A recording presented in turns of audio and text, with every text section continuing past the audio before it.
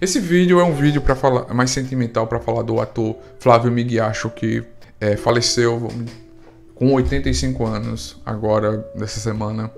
É, muito se fala e um dos vídeos muito comoventes que o ator Lima Duarte fez falando Eu Te Entendo. Os dois atores viveram momentos iguais. Os dois atores viveram a ditadura ao mesmo tempo que estavam nos, nos mesmos trabalhos.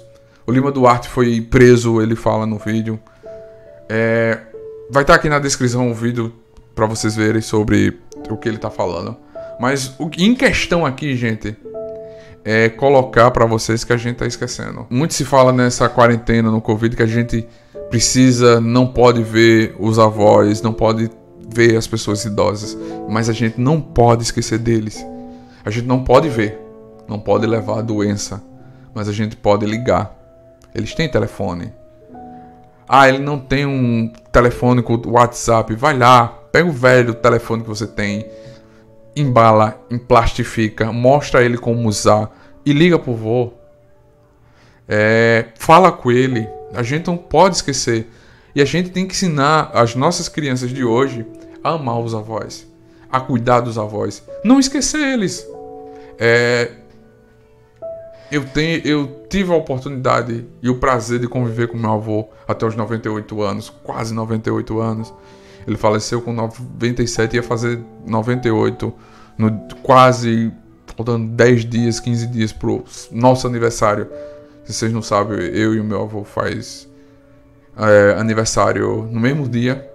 E a gente ia fazer aniversário, eu, tava, eu fui visitar. Disse, ó, oh, vovô, a gente vai fazer uma festança, como ele gostava, ele gosta. Vovô, a gente vai fazer, né, vovô? Ele é. E ele entubado e eu vendo aquilo. Eu saí do trabalho, passei uma semana lá com ele para visitar. Eu sou de Maceió, ele de, é, era de uma pessoa, eu fui para lá visitar. E a gente precisa cuidar dos nossos pais agora que estão envelhecendo. Precisamos cuidar de quem já está idoso. Cuidar em todos os sentidos, não só dar abrigo, não só dar financeiro, mas sim cuidar. A gente não pode esquecer dessas pessoas. A gente precisa amá-los. A gente precisa confortá-los. A gente precisa cuidar deles. A gente não pode esquecer e convidar um grande ator como esse só para fazer um papelzinho. A gente precisa que ele esteja vivo. O ser humano precisa estar vivo. A carta que ele escreveu é comovente. É muito comovente. E é difícil chegar até um ponto desse, uma pessoa chegar a um ponto desse. Uma pessoa que viveu muito, que contou muitas histórias, fez muitas alegrias às pessoas. É como diz aquele velho ditado, às vezes o palhaço tá triste, o palhaço é triste. O palhaço tá todo feliz lá naquele naquele momento, mas quando ele tira a pintura, ele tá triste. E a gente vê os atores muito felizes, vivendo aquele momento na TV, na, no, no teatro, na rua. E a gente esquece ele depois. A gente deixa ele se apagar. A gente não pode deixar o grande ator e as grandes pessoas morrerem. A gente tem que cuidar, a gente tem que preservar.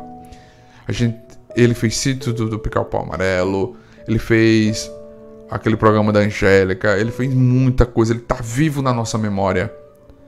É, Flávio Miguiacho, parabéns por tudo. Muito obrigado pelo que você fez, pelo que você representa o Brasil. E se vocês puderem, vejam o, vídeo do Lima Duarte explicando, dizendo eu te entendo. É difícil nesse momento que a gente está vivendo e passar pela cabeça desses dois grandes atores que possivelmente vai vir uma ditadura. Eles passaram por isso. Eu e você não. Eles viveram. Eles ficavam com medo da veraneio dobrando a esquina. Com medo de não voltar para casa, ser chamado para depor e não voltar para casa. Muita gente sofreu por isso. Muita gente aconteceu isso de verdade. Então, antes da gente pedir algo que a gente desconhece e acha que nunca existiu, procura, estuda.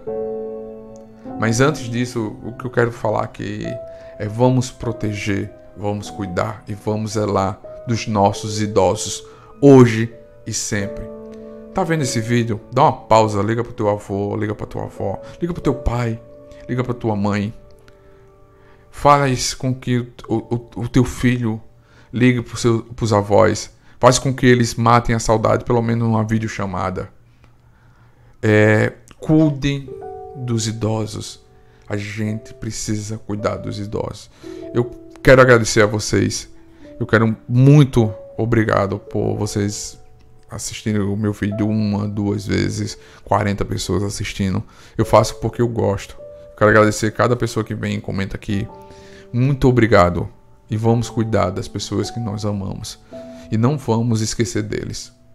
Muito obrigado, galera nerd. Que a força esteja com vocês. Valeu.